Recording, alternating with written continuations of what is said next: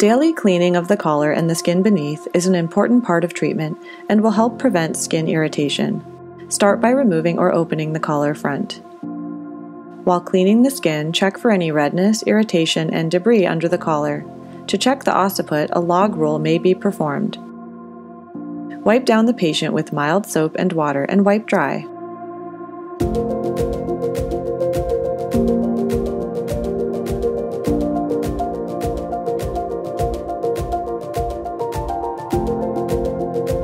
To change or clean the Sorbatex padding, remove the back shell from behind the patient's head.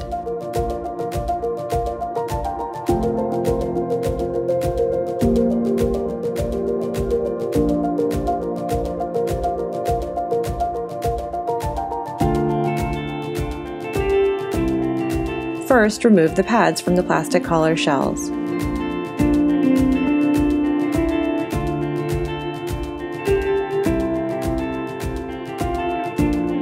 Wipe the plastic collar shell clean with mild soap and water.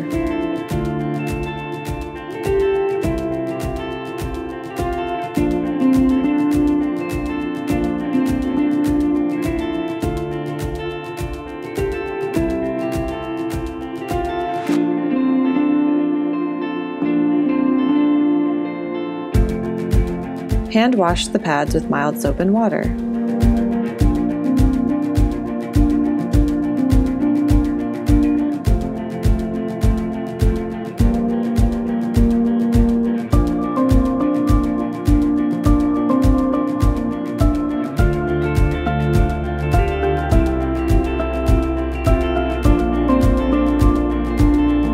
Rinse with clean water to remove soap.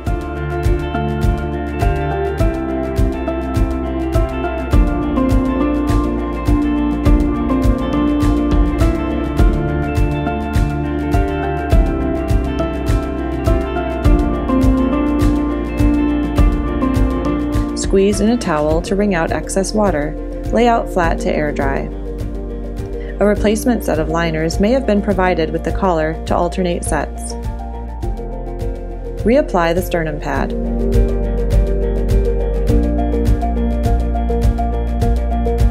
Replace the pads by folding in half and attaching the gray side to the inside of the collar.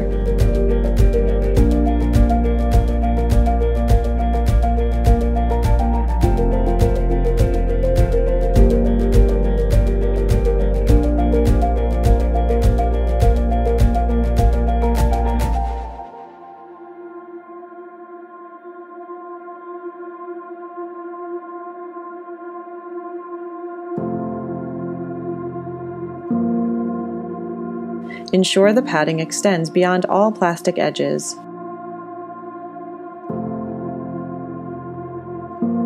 Repeat these steps for the back shell.